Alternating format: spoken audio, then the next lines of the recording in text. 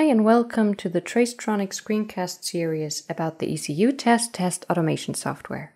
In this video, I want to show you how you can test automatically imported values against your expectations. For this purpose, I use our test case from the previous screencast how to create a test case. In the precondition, we wanted to test if the engine is still switched off, that is, if the engine speed is still equal to zero. By double-clicking on such a read step, I can open the same dialog that is displayed when I add a new reading step.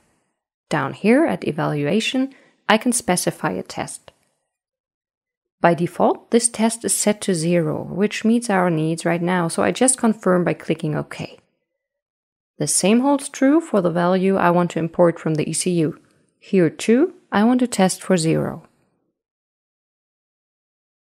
In my action block, Pushing the accelerator by 10% should lead to an engine speed above 800 revolutions per minute. Further, I want to compare both values with each other because they should be equal. So I open the dialog again and test for greater than or equal to 800.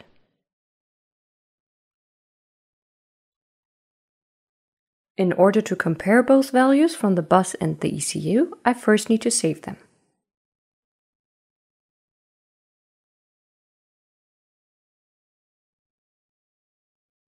The exact variable I have saved here is created automatically within the variable overview down here. Same thing for the ECU value. That is, I again test for greater than or equal to 800 and save the value using a similar file name.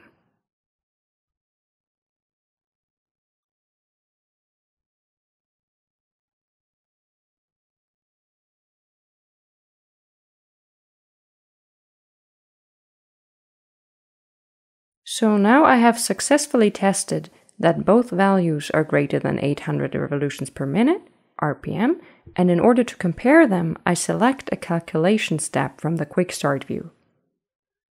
Take one of the two variables.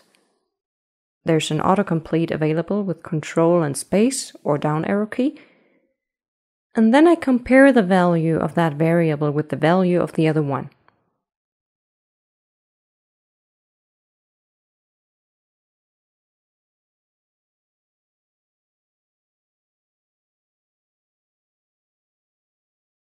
Since there may be a slight delay between bus and ECU, I add a tolerance of, let's say, 0.5%.